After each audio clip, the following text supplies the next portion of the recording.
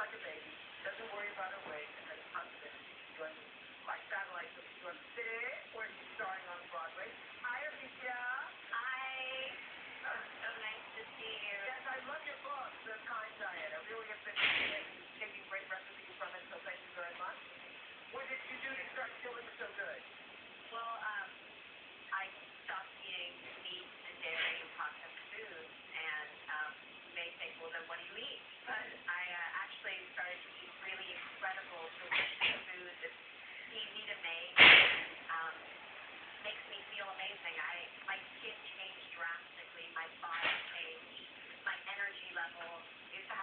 white marks on my nails, and they were very brittle, and now they're so strong. It's not and my eyes are really white, and I feel how I look less puffy and feels amazing.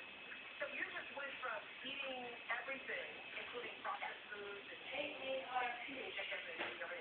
I was on a steak and donut diet. A steak and donut. So you went from that to say, I'm just going to drop all of that. You went cold turkey, or did you do I this did. like